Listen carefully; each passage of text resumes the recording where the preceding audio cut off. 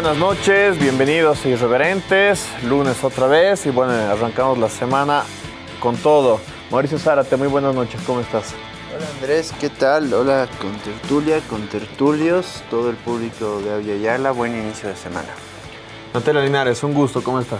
Un gusto Andrés, muchachos, Javier, siempre es un gusto estar aquí, pues bueno, a darle, ¿no? A darle.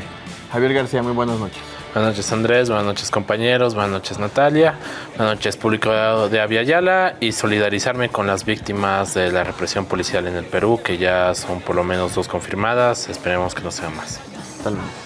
Alen Kisber, muy buenas noches. Andrés, ¿qué tal? Natalia, ¿cómo están señores? Buenas noches y por supuesto a ustedes muy buenas noches.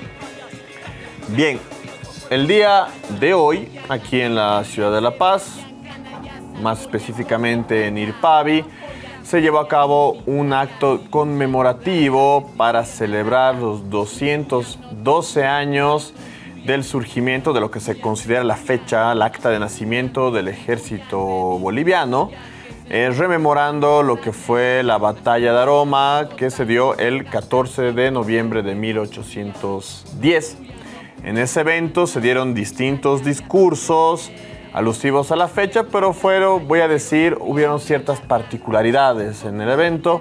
Por un lado, habló eh, Juan José Zúñiga, comandante general accidental del ejército boliviano, en el cual su discurso, además de reivindicar el papel histórico del ejército boliviano, también se habló muchísimo de combatir el, separatismo en Bolivia e incluso se lo relacionó y se lo dijo con todas las letras en contra del federalismo eh, se hizo alusión a ciertas fechas históricas en el cual el federalismo ya fue un conflicto en la historia del país.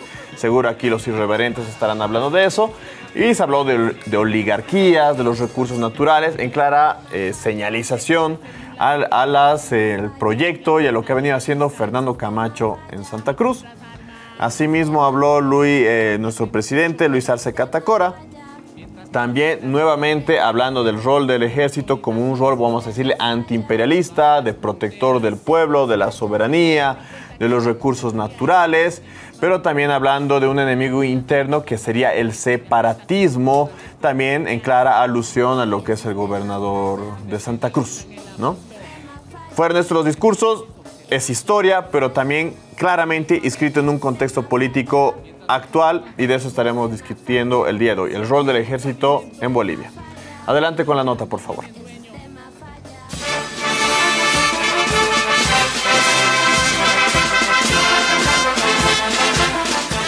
El enemigo interno no descansa y pretende oponerse a las ansias de libertad de nuestros pueblos mediante conjuras antipatrióticas que se expresan en intentos de división y separatismo. De esta manera, el presidente del Estado Plurinacional de Bolivia, Luis Arce Catacora, denunció durante el acto de homenaje por el 212 aniversario de la batalla de Aroma y del ejército que se desarrolló en el Colegio Militar de la zona de Irpavi de La Paz. En su discurso, el mandatario rescató parte histórica de cómo el país luchó contra el imperialismo. Pero hoy, como antes, el pueblo uniformado no vacila ni vacilará en defender la heredad nacional, en combatir con energía y patriotismo cualquier intento interno y externo de poner la obra de creación de nuestros libertadores.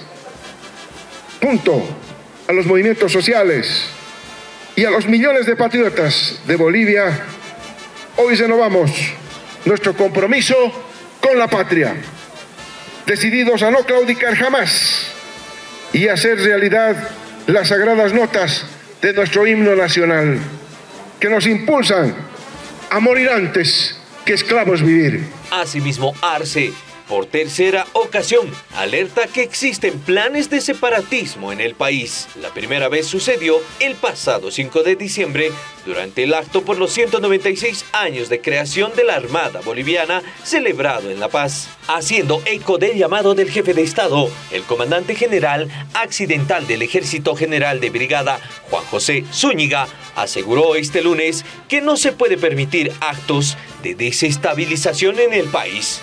No debemos quedarnos en silencio ante los aprestos desestabilizadores de pequeñas logias oligárquicas que van en contra de la unidad de la patria, que van en contra de los bolivianos, que se resisten al imperio de la constitución política del Estado, vendepatrias, que no cesan en su afán estéril de dañar a la democracia,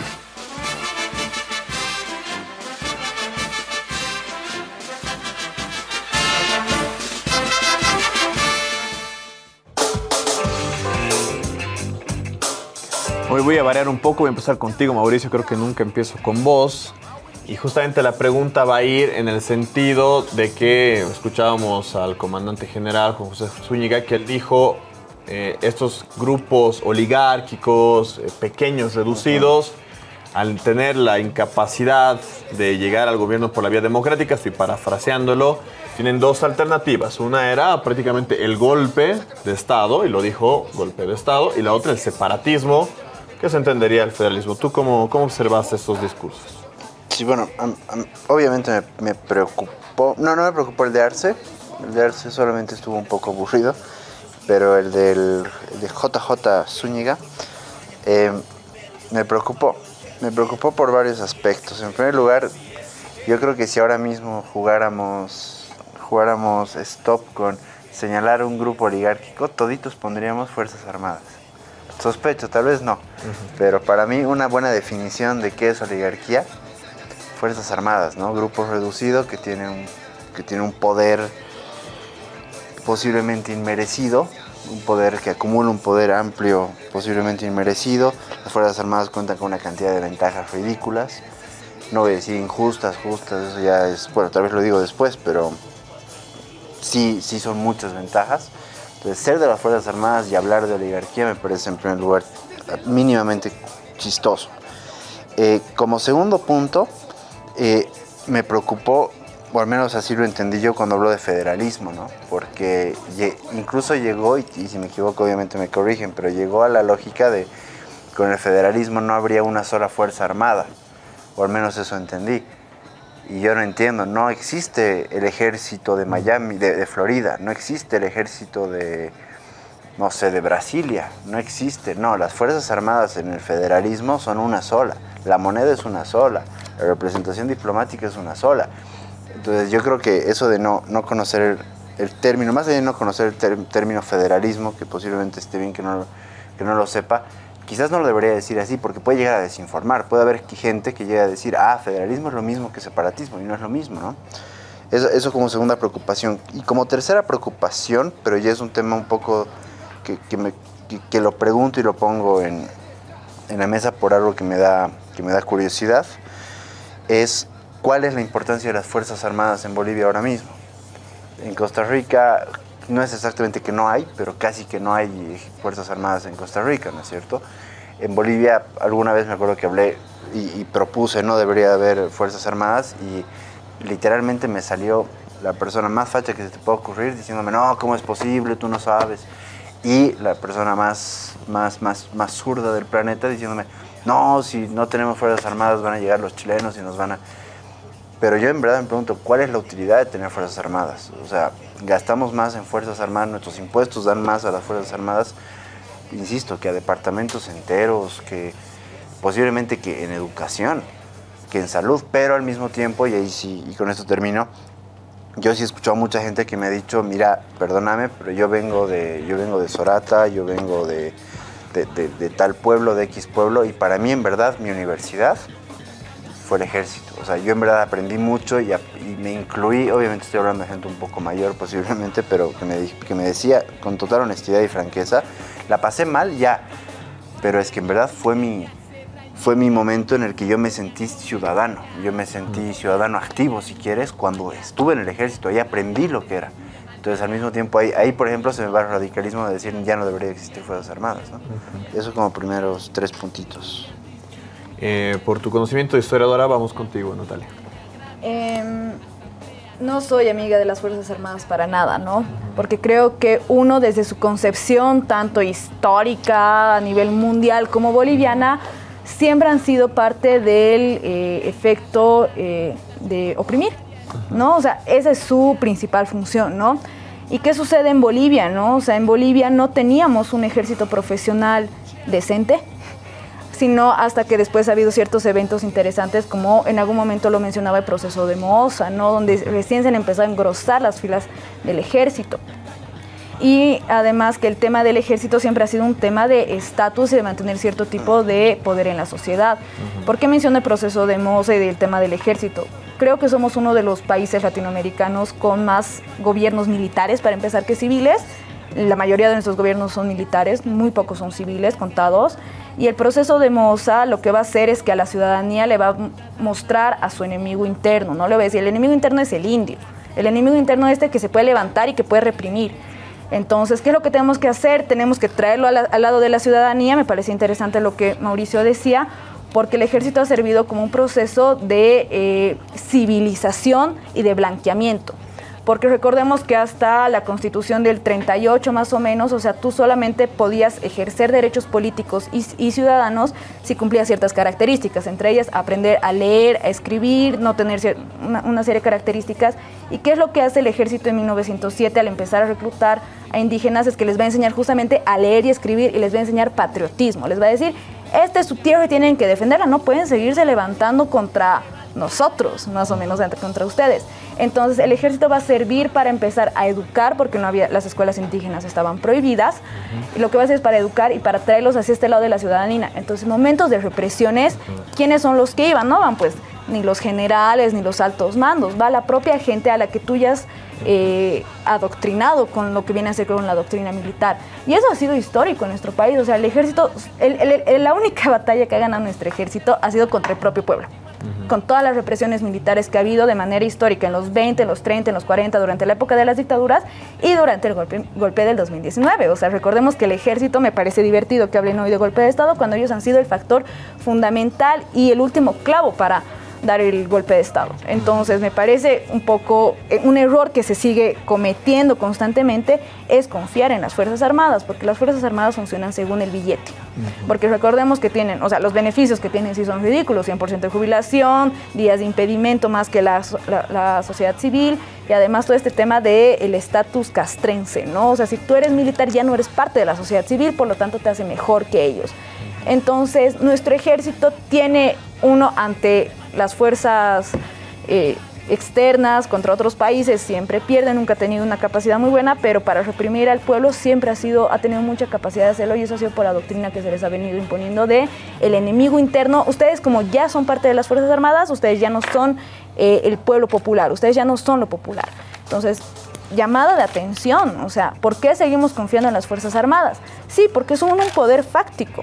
De hecho, o sea, no puedes gobernar sin las Fuerzas Armadas a tu lado, pero tampoco estás haciendo nada para cambiar la doctrina castrense. O sea, el colegio militar está ahí solamente para engrosar a un grupo de beneficiarios que por último sabes que cualquier rato te van a dar la vuelta. El ejército siempre es el punto fundamental para los golpes de Estado. Y hay que tener en cuenta eso. O sea, si ellos son los que dictan la última palabra. Ya lo hemos vivido en el 2019 y me preocupa qué es lo que pueda pasar más adelante si no empezamos a cambiar la doctrina militar y por último deshacernos de las Fuerzas Armadas. Eh, Alem, aquí Natalia decía que le llama la atención o le preocupa, no sé, de que este mismo ejército tuvo una participación en lo que pasó en el 2019, en el derrocamiento de Evo Morales, y al mismo tiempo hoy en día cuestiona la posibilidad de golpes de Estado. ¿Tú también te llama la atención? No, no me llama la atención. El más comete cada error, compañero. Entonces eso es normal, ¿no? Eh, es, que es absurdo. Yo, yo no le veo la coherencia política al movimiento al socialismo en la administración del Estado. En dos discursos concretos. Un primer discurso que hasta antes del 2019 el señor Calimán, que era el alto mando militar del ejército, ya estaba descolonizado, ya estaba a favor del pueblo, viva los indios al lado del ejército y lo traicionaron al señor Morales y sigue en proceso, no sé si ya lo han, eh, tiene sentencia, creo que sigue con ciertos privilegios, ¿no? Que obviamente el gobierno va a seguir protegiendo, primera gran contradicción. Está en Estados Unidos, en Calimán. Eh, está prófugo, ¿no? No sé hasta qué punto, mira, yo desconozco. Eh, segundo elemento, es el tema de eh, la seguridad, se- seguridad territorial, que es lo que Mauricio decía. Su principal labor es el concepto de la seguridad ciudadana, de la seguridad territorial. Pero cuando vemos en la TV, no tengo mayor referencia, de seguro hay una estadística, no logré encontrarlo, vemos cómo el ejército es corrupto. O sea, va a las fronteras a pedir, a nombre de decomiso, está robando camiones de contrabando, está sacando dinero a la señora, está haciendo llorar a los pequeños contrabandistas, recibe plata de los grandes contrabandistas. O sea, es lo más... Me, me faltan palabras no groseras para describir al ejército y me faltan palabras no groseras para describir al actual gobierno que quiera meter al ejército como un escenario, dentro del escenario político civil.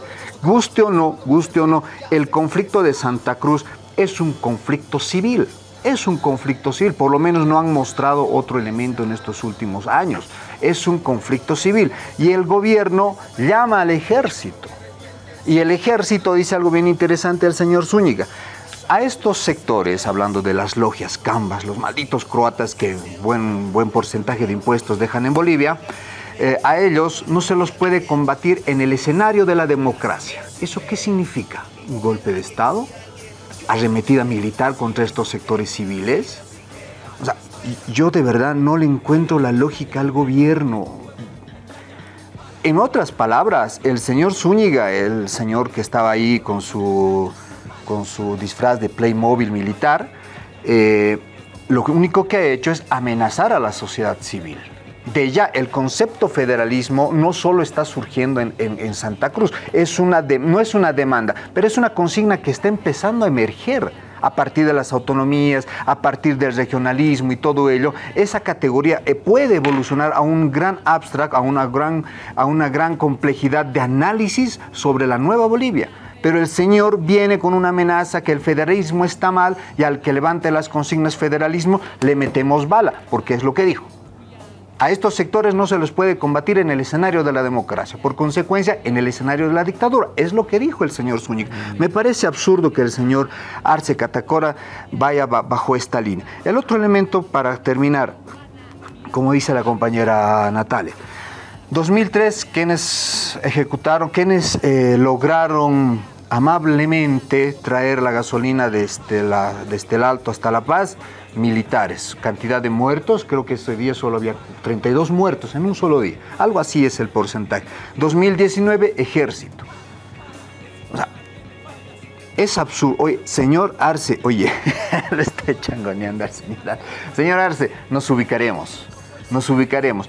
Hay problemas civiles que se los tiene que defender, atacar, combatir en el escenario de lo civil político. Llamar en tres oportunidades al ejército a que haga ejercicio, a que haga ejercicio de sus herramientas, que serían las balas, para defender ciertos temas políticos civiles, me parece un error garrafal. Me parece un error garrafal. Y este de la YAPA, eh, ¿se puede confiar? Todavía tendría que confiar. Ya el señor Evo Morales dijo que hay personas patrióticas del ejército y de la policía. No todos. Hay algunos patrióticos. Entonces ya generamos cierta politización del ejército y eso me parece muy al estilo de 1980. Enseguida tocaremos el tema del federalismo, pero antes quiero conocer tu, tu visión, Javier. Ya, mm, en antes de entrar al tema de federalismo, dejándolo eso por un lado, eh, creo que es importante señalar lo siguiente. Las Fuerzas Armadas sin duda son un órgano de represión. Nuestras Fuerzas Armadas no son resultado de la creación de un Estado popular, no son ni siquiera resultado de una verdadera lucha colectiva por la independencia, como puede serlo, por ejemplo, en Egipto o en Siria, sino que es resultado de una élite oligárquica que recibió un ejército colombiano para gobernar un pueblo de aymaras y quechos. Eh, entonces esa élite oligárquica que se le, le heredaron el ejército esencialmente, eh, lo ha usado durante 200 años para masacrar indios. Es para lo que lo ha usado. ¿ya? Y esa es la tradición, esa es la gran memoria histórica de, de nuestras Fuerzas Armadas. En ese sentido yo no la voy a defender, no voy a defender las Fuerzas Armadas. Si- sin embargo, si puedo decir algo en su defensa es que son mejores que la policía y bueno, creo que eso está es muy difícil no ser mejores que la policía boliviana, así que mm, por ese lado un punto para ellos. Mm, pero no, no hay, digamos, elementos de defensa. Ahora, eso sí, lo que sí es central. No es un conflicto civil el que se tiene con la élite cruceña, con los movimientos fascistas de Santa Cruz. No es un conflicto civil. Si fuera un conflicto civil no habría habido muertos. Si hubiera sido un conflicto civil no habría violaciones grupales. Si hubiera un conflicto civil no sería un grupo de, no tendrían un grupo paramilitar operando desde hace más de 20 años en esa ciudad, ¿ya? No es un conflicto civil que se tiene con la élite cruceña. Y en ese sentido, cualquier tipo de enfrentamiento armado, como Bolivia los ha tenido varios, los ha tenido varios y casi todos de orden interno, eh, el ejército no es neutral. Y eso hay que entenderlo. O sea, más allá de que a usted le agrade o no le agrade a los militares, más allá de que usted defienda o no defienda tal militar, tal posición, más allá de cuál sea su posición dentro del conflicto político que tiene Bolivia, lo que tiene que asumir usted es que el ejército no es neutral y no va a ser neutral y uno tiene que actuar en, esa, en consecuencia. O sea, eh, yo creo que apelar a que no, no nos tenemos que pelear con los militares sí o sí, es como en la República de España en 1935 decir, ah, no, es que este es el momento apropiado para reclamarles los privilegios militares. Ahora, no es que me agraden, pero hay una correlación de fuerzas objetiva. Y eso hay que estar muy consciente, sobre todo porque, y, y lo hemos dicho varias veces en este programa, hubo un golpe de Estado hace tan solo tres años. Entonces, ante esa realidad, tenemos que actuar en consecuencia. Cualquier sea el posicionamiento con los... mm, cualquiera sea la opinión que uno pueda tener sobre los, eh, eh, los señores militares, lo que hay que entender es que van a ser unos factores decisivos en este enfrentamiento político que sigue dándose. Bien, ahora sí, entrando un poco más de lleno quizás en el contenido del, del discurso, primero del, como le llamó Mauricio, el JJ Zúñiga, el- estaba esta cuestión del federalismo, a lo que yo entendí, ¿no? dentro de los elementos que se discutió, es de que la cuestión del federalismo, acorde a la interpretación del comandante general, es una puerta a la secesión. Es una puerta al desmembramiento del país. Y por eso dio un ejemplo histórico que fue la pérdida del Acre por parte de Bolivia en favor de Brasil, que se dio a inicios del siglo XX, que era un momento en el que estaba en auge, estaba en fiebre internacional los precios del caucho. El Acre es una de las zonas más ricas en caucho, era el momento de construcción de automóviles, en fin. El mundo quería ese recurso y qué coincidencia, muy parte de nuestra historia, justamente eh, el Acre declara un estado federativo, se declara un estado federativo y después de eso se anexa a Brasil como un estado ya parte de la República Federativa de Brasil. Entonces él habla, entonces volviendo a lo que fue el discurso, él habla de que estas intentonas federalistas son puertas a que podamos perder el territorio. Por eso cuestionó de que o estos grupos eh, oligárquicos o, llegan al poder mediante el golpe o mediante la secesión, mediante la separación. ¿no? Entonces ahí está uno de los, de los riesgos quizás que él señala. Ahora empecemos de este lado, vamos contigo Natalia. Eh, haciendo este, este paso, ¿no? Del ejército al federalismo, ¿no? O sea, las acciones del ejército actuales son puramente herencia republicana, ¿no? O sea, ahí no hay nada, creo que no puedes decir que empiezan sus acciones el 2003 o en los 2000, ¿no? Es una herencia y el ejército siempre ha sido netamente político. Siempre ha tenido decisiones políticas, o sea, el mismo ejemplo que se da del Acre, ¿no? O sea, tienes ahí como que tenías un ejército muy débil, no tenías presencia, en el, el Estado no tenía presencia y al final todos hacían quien hacía, ¿no? Y los militares lo cuentan como una pérdida militar, sin embargo, seguramente ahí hubo cierto tipo de, de amarres, ¿no? No me animo a ir un poco más ahí, o sea, ahí estamos viendo que los militares están hablando desde sus cuarteles. No tienen, creo que, una conciencia muy fuerte de lo que sucede a nivel país. de lo, y por eso me llama también la atención el, el discurso de Zúñiga, porque hay que tener en cuenta algo. Ni Evo Morales ni él se sacaron a los militares en los momentos más heavies de todo el proceso político. No lo hicieron y nunca tuvieron un discurso militar, pero los militares sí tienen este discurso de que se sienten los defensores de la patria y que ellos son los que van a mantener la unidad. Sin embargo, eh, el discurso del federalismo a los militares les va y les viene según su conveniencia, ¿no? Cuando tienen que condenarlo, lo condenan y cuando lo tienen que apoyar, lo apoyan. Entonces no hay mucha consistencia en temas discursivos ahí. O sea, en algún momento hablábamos de federalismo y veíamos que si bien el federalismo viene desde las partes más fuera del eje central del país, eh, solamente viene cuando hay un gobierno que les desencanta, ¿no? O sea, se habló de federalismo con Villarruel, se habló de federa eh, no se habló de federalismo jamás durante las dictaduras militares. ¿Por qué? No sé, lo lanzo por ahí. Se, habló de federalismo en el 2008 y se, habló se está hablando ahora de federalismo porque obviamente hay un gobierno que incomoda, hay políticas que incomodan, hay acciones que incomodan a los grupos de poder, ¿no? Y entre estos grupos siempre va a estar eh, el ejército con un pie con el gobierno y con los grupos de poder, dependiendo a quien le vayan, ¿no? Entonces, no, sostengo, no es un discurso que esté, eh, por lo menos dentro de la sociedad civil, muy incrustado, sin embargo, me parece sí importante el llamamiento a decir que es la tercera vez que se les llama la atención a las Fuerzas Armadas, decirles, ojito, no vamos a permitir el separatismo, pero también las Fuerzas Armadas tienen que estar pendientes ahí, porque ellos son los actores decisivos de todo esto, ¿no? Entonces, el discurso de Sudán sí me parece vacío, sin embargo, la llamada de atención no me parece poca. Mauricio. yo, estoy de acuerdo con Natalia en que existen políticas que incomodan. El hecho de que la Autoridad Boliviana de Corrupción, la ABC, tenga más presupuesto que todo, todo un departamento y toda una ciudad, yo creo que incomoda. Yo creo que, que jode un poquito. El hecho de que hayan empresas públicas, que en realidad en porcentaje las empresas públicas tengan más presupuesto que ciudades y departamentos, incomoda, incomoda a la gente, obviamente. O sea, insisto, eh, voy a perder tu gato, tiene más presupuesto que muchas ciudades. ¿Cómo no te va a incomodar eso?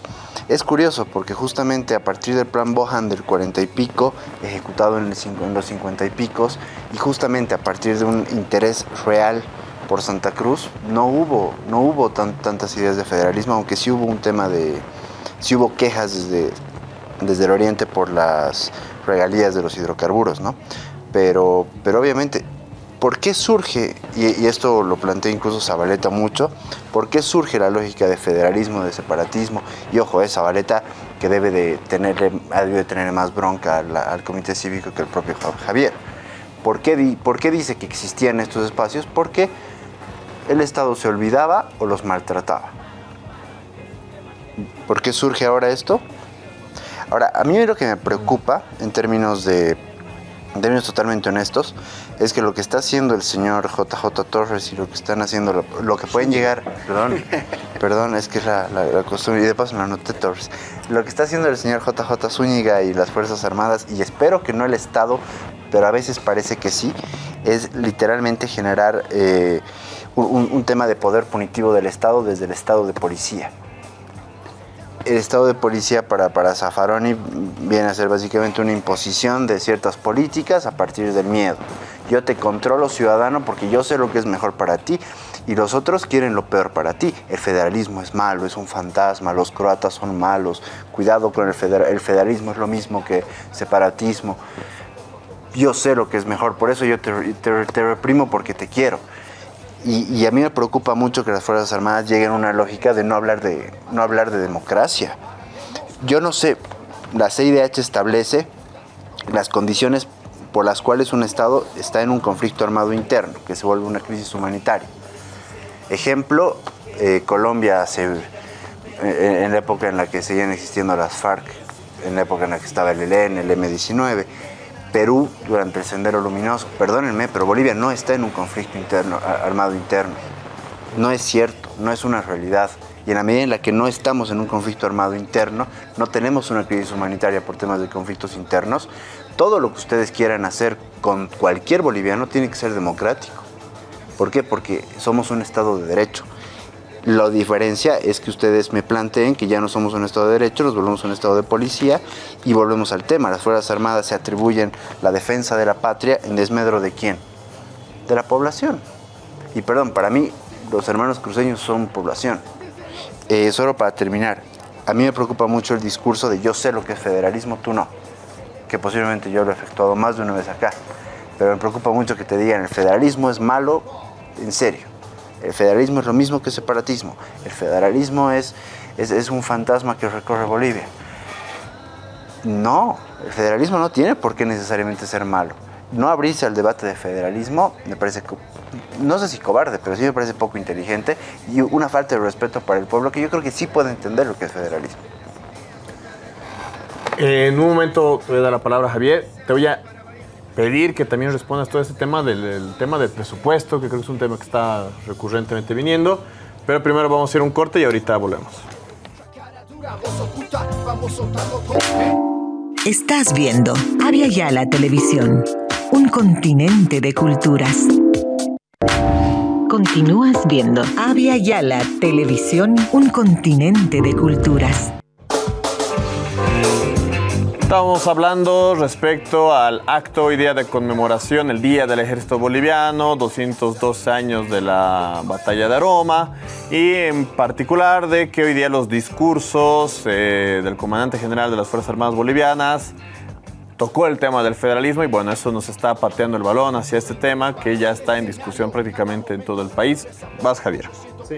Eh, bueno, primero, como me pedías, Andrés, to- brevemente sobre el tema del presupuesto. Las Fuerzas Armadas tienen un presupuesto de 432 millones de dólares a datos del 2020. No pude conseguir el actualizado al 21. ¿Cuánto es 432 millones de dólares? Ya para que tengan una idea, el presupuesto de salud es 3 mil millones de dólares. O sea, es menos de la quinta parte del presupuesto de salud.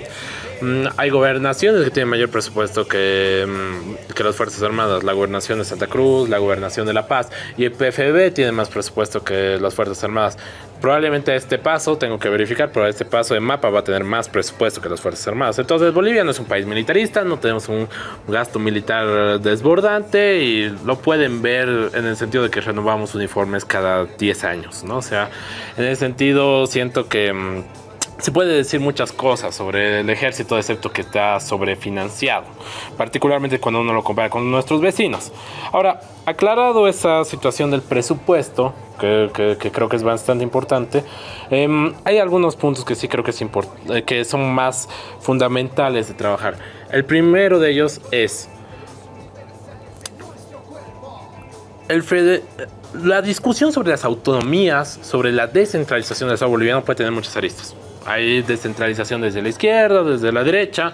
No olvidemos que, por ejemplo, el Che y el ELN tenían una propuesta de descentralización del Estado Nacional, por ejemplo, en los 60s. Em, pero la forma en que se plantea el federalismo desde Santa Cruz es una propuesta política que nace con Banzer. La forma actual es una propuesta de Banzer. Banzer empieza con sus proyectos, cuando ya, es, ya en la época de la dictadura, eh, los proyectos de las corporaciones de desarrollo departamental, que son un inicio, es una forma de facto de autonomía en el escenario de un marco de un estado autoritario.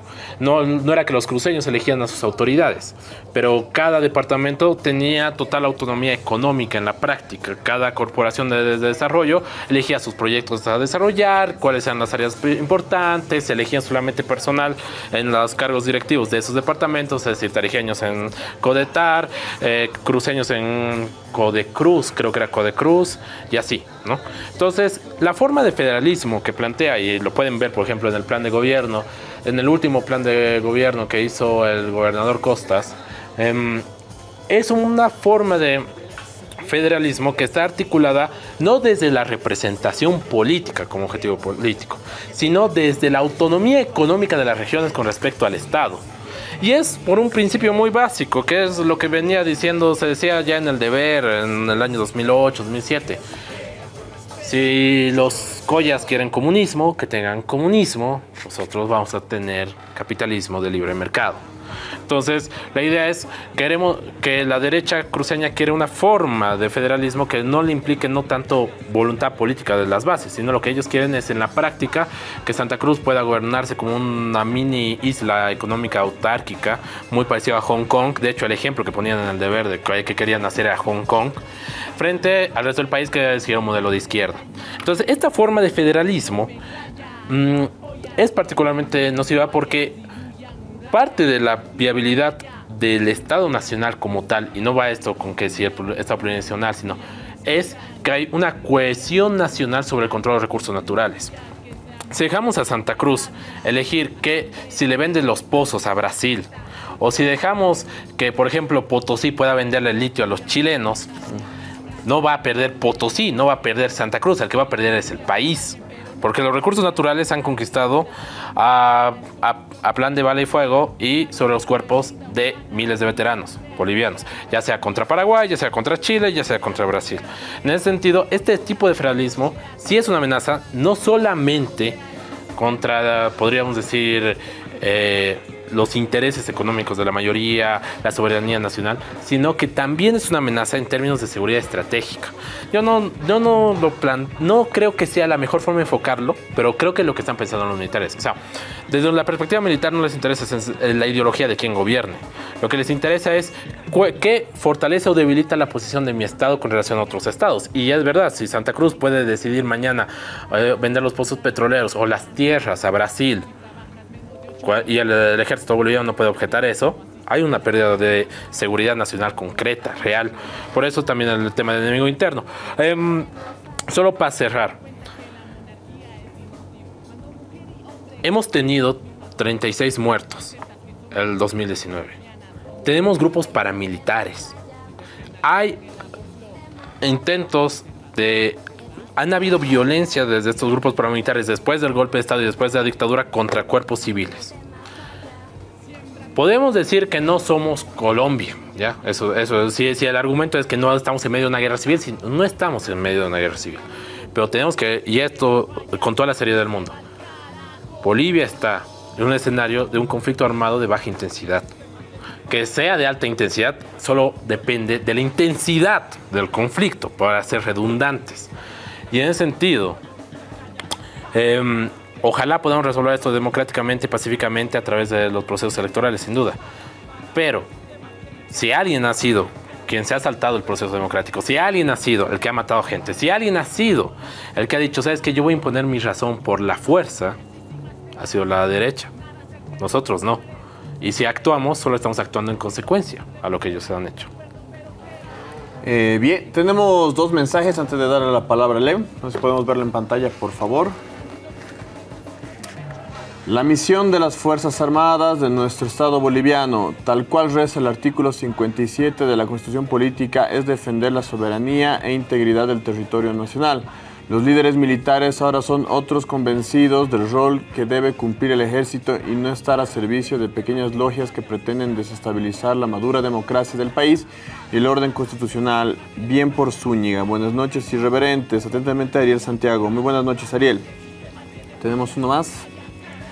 Buenas noches, irreverentes. Aquí en Bolivia no tenemos que, perdón, no tenemos que confiarnos a las Fuerzas Armadas porque esta institución cualquier rato traiciona con unos cuantos pesos como el año 2019. En cuanto al federalismo, no es fácil, se tiene que hacer un procedimiento constitucionales. Atentamente, Carlos Obando. Muy buenas noches, Carlos. Gracias. Eh, antes de pasarte la palabra, Lem, para complejizar igual el debate del, del federalismo, que yo estoy de acuerdo con que está bien debatirlo, discutirlo, ¿no? Pero justamente yo creo que hay que evitar romantizar el concepto como también de, endemoniarlo, criminalizarlo absolutamente. ¿no? En ese sentido, solamente quiero recordar que en Bolivia antes existía un, centralismo muy fuerte, antes del 94, cuando se aprueba la ley de participación popular, en la cual el país se municipaliza. Antes no existían prácticamente los municipios en el área rural. Y se pueden elegir por primera vez alcaldes en el área rural, por primera vez hay diputados uninominales elegidos en su propio territorio y no por el partido que estaba aquí en sede de gobierno. Y sin embargo, a pesar de esa descentralización tan importante, los índices de pobreza en el país, en la área rural, no mejoraron. Más bien se sostuvieron en índices alarmantes, por lo cual en el país, como muchos recordarán de nuestros más veteranos telespectadores, habían guerrillas, habían constantes movilizaciones, habían enfrentamientos con varios muertos, el ejército estaba desplegado en distintas partes del país, como por ejemplo el trópico de Cochabamba. También en el 2003 tuvimos un despliegue del ejército. Eh, la descentralización no supuso, y ese es el punto, la reducción de las brechas de pobreza. Sí supuso mayor participación política, pero en este caso de Bolivia, concreto, no digo que nunca no pueda ser así. Pero en ese caso no fue la, la panacea. Lo mismo pasa con estados federativos como Brasil, donde igual existen amplias desigualdades, a pesar que es una federación entre el norte de Brasil, que es una de las zonas más pobres de la región latinoamericana, comparados con el sur. Tampoco es una ideología de derecha ni de izquierda, ya lo decía aquí varias veces, la Unión Soviética era una federación comunista y Estados Unidos también es una federación y es el polo capitalista. ¿No? Son, son cosas que son buenas tomarlas en cuenta a la hora de discutir y además que no existe solo una forma de ser una, un Estado federal, sino que se trata de qué atribuciones les vas a dar a los gobiernos que ahora no las tienen. Y hay que entender que, por ejemplo, Fernando Camacho el año pasado quería atribuirse casi de facto que él pudiera hacer la distribución de tierras en Santa Cruz, disputando que la atribución del INRA que es a nivel nacional distribuye las tierras. Eso, como les digo, supone grandes, grandes problemas porque sería reevaluar los títulos de propiedad que ya se han dado en Santa Cruz. Discutir puntualmente quién debe ser la repartición de tierras es lo que está en discusión con el federalismo, más allá del presupuesto, pienso yo. Ahora sí, Ale. Sí, sí, mira, mira, qué interesante la, la mirada que le has puesto ahí. A ver, ¿qué, qué dice el INRA hoy sobre los procesos, sobre los eh, avasallamientos que ha habido en el tema de Santa Cruz? El INRA dice que no es una tuición del INRA, es una tuición municipal y de la gobernación. Ya, pues nos ubicamos, ¿no ves, señores INRA? Siguiente elemento. El problema está en que si no le has dado, si no le has enseñado a pescar, difícilmente lo va a hacer. ¿Verdad? Ahora, ¿qué ha hecho el gobierno desde su lógica centralista? ¿Qué va? Eh, la parte andina ya, ya ha hecho mucha referencia. Propiedad privada en pleno, por eso son un imperio económico en Bolivia. ¿Qué pasa con las poblaciones rurales del Chaco y de la Amazonía? No tienen, viven en casi reservas, llamadas parques nacionales, eh, eh, terrenos comunitarios y demás elementos. Entonces, estos sujetos, estos, eh, estos, estos elementos sociales de la población rural de, estos dos, de estas dos macroregiones jamás han hecho un proceso de evolución frente a la economía de mercado. Para ellos una casa, usted vaya a cualquiera de estas comunidades, usted va a encontrar un terreno de mil metros a cinco mil, seis mil bolivianos. Y eso es así, porque ellos no, no tienen el concepto de la propiedad privada y este al no tener el concepto de la propiedad privada no están ejerciendo su derecho sobre sus recursos naturales y tampoco tienen la capacidad de poder generar préstamos bancarios, hipotecarlos y otros elementos que les beneficie para armar capitales y subsistir y crearse económicamente como culturas. No lo está haciendo. ¿Culpa de quién? Del, federa- del federalismo, perdón, del centralismo de Estado. Pese a que su discurso de lo pro indígena, los pobres indios, los pobres campesinos y todo eso, falsedad total. El segundo elemento, eh, el 92, la ley de participación popular. 94, perdón. 94, no, 94. 94. Sí, ah, mira, yo tengo mal entonces el dato. Perfecto. El 94. eh, no mejoraron las condiciones económicas. ¿Mejoraron las condiciones económicas ahora? ¿Por qué los grandes niveles de migración o las dobles localidades que se está dando? O sea, vas en época de siembra y cosecha a tu pueblo, pero el resto del año estás en Santa Cruz, estás en La Paz, metido en comercio, carpintería y otras áreas. Ha mejorado la calidad económica en los, sectores rurales, pese a que hemos tenido un boom de la economía a, a través de la venta de materia prima entre el 2006 y el 2014 los procesos de migración han crecido más y vuelve a ser el mismo discurso. ¿Dónde están los indios ahora? Están en las ciudades, como clases medias, que tanto los odia el compañero Javier, esas clases medias malditas, pero ahora son clases medias estos sectores rurales, principalmente del altiplano boliviano. Entonces, esos elementos tienen que estar dentro del análisis del federalismo, por supuesto que sí. Seamos maduros. En algún momento con Diego decíamos en, en los debates, Empecemos a manejar la bicicleta y la bicicleta es las autonomías y no sé por qué el gobierno y no sé por qué la Comisión de Autonomías que está en manos de la del- de Comunidad Ciudadana no ejerce este poder, porque dentro de, las, de la ley, eh, ¿qué se llama la ley de autonomías? Andrés Ibáñez, eh, está que las comunidades que planteen sus, su- sus cartas autonómicas les da facultades de ejercer sobre sus recursos naturales. Hablemos del norte de La Paz, que ahorita está en concepto de propiedad privada en las comunidades indígenas, minería. Hablemos de la frontera entre Pando, Beni y, Brasil. Hay comunidades, comunidades enteras de brasileros. O sea, si hacemos un referéndum en esa comunidad, ¿quiere ser boliviano o brasilero? ¿A dónde se va a ir? Ahí está el ejército, ahí hace algo el ejército. Supongamos que estos eh, patrióticos brasileros, ¿dónde hacen su economía? ¿Pro Bolivia o pro Brasil? Por último, eh, muy interesante lo que decía el compañero Javier, que, los, que, hay, que, que hay nomás ejercer la... eh, ¿Qué dijiste? No, voy, a encontrar la palabra. Si me equivoco, me, me corriges. Eh, que los militares defienden la territorialidad, ¿verdad? Ahora, Hubo un señor, Juan Ramón Quintana, que tuvo una denuncia de 11 camiones de contrabando, con video incluido. A ese señor militar, político, patriota, revolucionario, de izquierda, militante del movimiento al socialismo, le interesa la economía nacional o le interesa sus bolsillos? ¿Puede usted, señor vecino, confiar en los militares? ¿Puede usted, señor vecino, confiar en los militares políticos? ¿O realmente nos, no- abusan de su poder? Abusan de su poder en desmedro de nuestra economía. Por favor, señor Arce, póngase las pilas. Sociología para principiantes, básico. Solamente aclarar una cuestión, el INRA no tiene atuiciones de punitivas, digamos. No puede castigar a alguien que, que quita Pero tierra. podrías resolver. Tú no, dices no, no, que... no. Claro, pero es un delito, ¿no? La, eh, la- ¿Cómo se llama ahorita? Las invasiones. Es, es un delito, entonces es tuición del Ministerio Público, el Ministerio de Gobierno, la policía, ¿no? el INRA dijo que es una tuición estricta de las alcaldías y las No, no, gobernaciones. no, just- no, justamente dijo que no es su intuición y por eso hoy día el ministro de gobierno dijo que él personalmente está transportando a Santa Cruz para resolver eso. Solamente para aclarar, digamos, porque no se trata de que el INRA meta a la cárcel a nadie porque no maneja a la policía. Este, mm, ya estamos en nuestro momento de últimas intervenciones. Eh, la voy a dejar en, la voy a dejar en libre. No, no, creo que hay tiempo, ¿no? Intenten no extenderse demasiado, por favor. Pero es un poco más de un minuto. Eh, solamente les voy a pedir que igual respondan algo, ya que salió en la discusión. Esto de la cuestión de las autonomías. Aquí Alem decía, empecemos con la bicicleta. Y claro, la- las autonomías, si es que son aprobadas vía referéndum de entrada y de salida, que está así en la ley, permite que las gobernaciones o los municipios o las regiones tengan mayores atribuciones, ¿no? Entre ellas por ser una carga impositiva a su criterio, como por ejemplo, como bien decía, de los minerales, por dar, por dar un ejemplo. Y sin embargo, nuestro país ha perdido la mayoría de los referéndums autonómicos impulsados. Es como si nuestra población, por alguna razón, no sé, hasta por lo menos hasta el 2018, no quería las autonomías.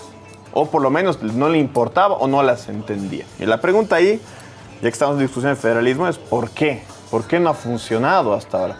No, yo les digo, yo, yo, a mí me gustan las autonomías indígenas. Creo que es un proyecto que podría sacarse mucho fruto y es desconcertante para mí que muchos pueblos indígenas hayan votado por no ser autonomía indígena. Es, bastante curioso. Entonces vamos con estas últimas participaciones. Eh, vamos, Mauricio. No, mentira. Eh, a ver, a- es, algo bien curioso. Me viene más prácticamente solamente a, lo que, a, tu- pregunta, o al menos eso voy a tratar.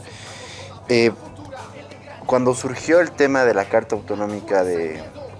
la Carta Orgánica acá en La Paz, me acuerdo que la campaña en realidad era en contra de la Carta, pero no porque estar en contra de la Carta era estar en contra de las autonomías, sino porque la Carta era más centralista que el gobierno, o sea, ya era ridículamente centralista esa Carta, es más, yo, yo, yo no soy federalista, yo en verdad creo que es, es, una, es, es un desconocimiento a la hora de federalismo, pero hay que hablar. Pero, eh, yo me acuerdo que yo les decía en, forma de broma a mis amigos de mi familia, yo voy a votar a favor de la carta, porque es muy poco autonomista. En verdad, o sea, no es un tema de que si han votado en contra es porque están, sino porque los consejos que escribieron esas cartas eran terriblemente centralistas.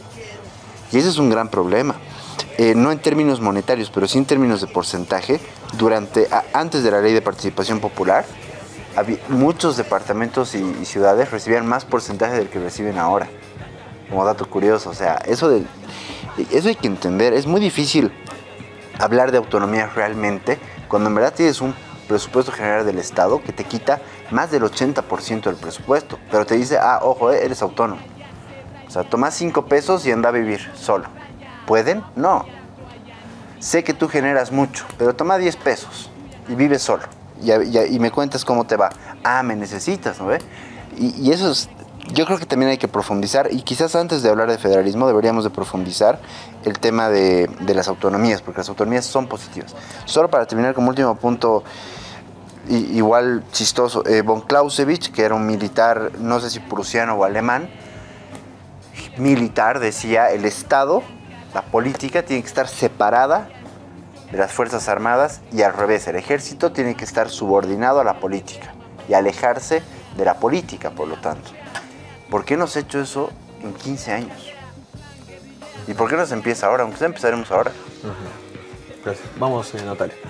Eh, bueno, aquí hay varias cosas, ¿no? O sea, yo sostengo realmente el discurso del federalismo que se tiene es una máscara, porque no se habla de federalismo de descentralización cuando las viejas oligarquías están en el poder. O sea, sí, éramos un país netamente centralista, pero recordemos quiénes gobernaban nuestro país, ¿no? O sea, ya lo hemos dicho, el 5% de la clase política, que además lo único que han hecho ha sido beneficiar a sus propios grupos de poder, ¿no? O sea, hay, por ejemplo, un episodio súper divertido donde eh, si no estoy mal, Jaime Paz logra pavimentar una, una carretera en Tarija a su hacienda.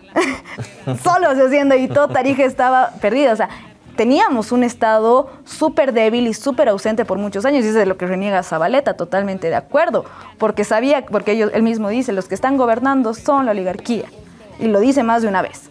Entonces, en ese sentido, claro, o sea, el discurso del federalismo es conveniente en cierto tipo de eh, coyunturas bien específicas. Entonces, es algo que no, no, no llega a cuajar, o sea, y por último, o sea, lo que Alem menciona a mí me parece un poco preocupante. Estabas proponiendo un minifundio en el Amazonas. Pregunto por ahí, porque lo que estás diciendo, porque lo que sí, ha- sí lo- sí se ha logrado hacer a, los últimos años es que se ha fortalecido la propiedad comunitaria, o sea, ejercer desde eh, la propiedad comunitaria, no tanto así desde la propiedad privada campesina. Creo que no, es algo que no cuaja por ahí, algo me está haciendo mucho ruido en ese sentido. Y por último, o sea, es divertido que los sectores que más proponen descentralización, no voy a decir federalismo porque creo que es- no- son dos cosas totalmente diferentes, son los sectores que más inversión pública reciben. O sea, Santa Cruz ha recibido muchísima inversión pública, se benefician mucho de los programas nacionales, ¿no? El Beni también, o sea, las carreteras que hoy en el Beni existen y los centros de salud y los centros educativos que hoy existen han sido gracias a pura inversión pública. Entonces, negar eso y decir, no, es que queremos todavía descentralizarnos, es porque en realidad lo que están haciendo es que les molesta toda la política popular que hay, porque claro, ya no beneficia a sus haciendas, o sea, ya no puedes hacer una, hacienda- una carretera hacia tu hacienda, porque la carretera tiene que ir para todas partes. Es un discurso que no tiene mucho más que irse por la coyuntura. Necesitas de tratar de embanderar algo. Si ahorita lo que puedes embanderar es federalismo o descentralización, es porque es útil a la coyuntura, pero no es algo que tenga sustento ni económico ni social. Yo se lo haría con eso. Gracias, Natalia. Vamos a leer. Eh, ya, mira, eh, en- entender de por qué no se aprueba las cartas autonómicas en municipios rurales eh, es un tema de estudio sociológico y antropológico fundamentalmente. Solo como un dato para, para que nosotros en casa podamos generar el debate. La CONAMAC, cuando en el 94 se aprueba la ley de participación popular, les genera cierto grado de autonomía, pluralidad y multilingüi- mu- multilingües. En función a eso, ellos dicen, no lo queremos. Nosotros tenemos el poder. No sirve de nada la autonomía. Esa es una lógica. Ver las otras lógicas se tendría que ver. Se tendría, eso es un tema de análisis. Mm, eh, el siguiente elemento. A ver, el señor Arce eh, nos dice la unidad de Bolivia. No puede mantener al partido unido y va a lograr la unidad de Bolivia. me, es gracioso, pero quizás le funcione. Tiene los militares, los van a sacar. No quiere ser de aquí, le metemos bala. En poco más dijo eso el señor Zúñiga. Siguiente. eh, eh, es, es, es, eh, ¿qué se llama? Eh, incapacidad administrativa. La policía no me hace caso y como soy tan incapaz como ministro de gobierno de poder reformular y mejorar la calidad de atención de los policías a los ciudadanos, el presidente dice, me voy con los milicos. Y si no les resulta, en algún momento se dijo, me voy con los movimientos sociales. Y si no les resulta, ¿qué pasa? administración de Estado nula. Y eso es preocupante. Que Natalia dijo ausencia de Estado. Ustedes respóndanse en casa, señor vecino. ¿No vivimos en una ausencia de Estado? Y otra pregunta para concluir. Cuando yo veo militar y veo un policía en grupito, yo me asusto. Realmente me asusto. O me van a sacar plata o va a pasar algo. Y estoy seguro que usted en casa siente lo mismo. Hasta mañana, señores. Eh, antes de pasarte la palabra, Javier, me han escrito Luis Mallea, voy a leer su mensaje, por favor. El problema es que las logias de Camacho usan el discurso federalista para afectar la soberanía e integridad territorial de Bolivia. Camacho trata de engañar a las poblaciones diciendo federalismo, que en realidad es solo pretexto para lograr el proyecto separatista. El pronunciamiento de las Fuerzas Armadas hoy fue un discurso patriótico que debe ser el sentir de todos los bolivianos contra la logia separatista de Camacho. Atentamente, Luis Maya. Muchas gracias, Luis. por tu mensaje. Vamos, eh, Javier, para cerrar. Para cerrar, eh, primero un breve dato. Em, cuando llegó el MAS, de las 3 millones de personas que vivían en el campo, 2.5 millones vivían en condición de pobreza y 2 millones en extrema pobreza. Ahora solo, solo un millón de personas viven en pobreza y medio millón de personas en el campo viven en extrema pobreza. Todavía falta que hacer mucho, sí, pero sin duda que si un sector ha sido totalmente priorizado por el Estado plurinacional y por el MAS como partido político ha sido su principal base sindical, el mundo campesino. Eso que nadie, nadie se atreve a cuestionar eso. Ahora, eh, el otro punto, nunca confíe en un militar. Por, por favor, por, por favor, todas las personas nunca confíen en un militar. Así como nunca confíen en una persona que use la Biblia y la palabra del Señor para hablar de política. Nunca lo hagan. En- y, mm, y para cerrar, sobre el tema de federalismo, podemos discutir las autonomías eh, 70 veces como ustedes prefieran, pero yo lo que quiero señalar es cuando se dio la guerra del Pacífico, los, mm, los habitantes mayoritariamente pro-chilenos de la región en el litoral hicieron un referéndum para ver si, si les caía mejor ir, eh, ir con Chile o ir con Bolivia. Eran los primeros en pedir federalismo impositivo, que no se les podía cobrar impuestos desde el Estado central, y cuando eso no funcionó, dijeron que les agradaba más Chile.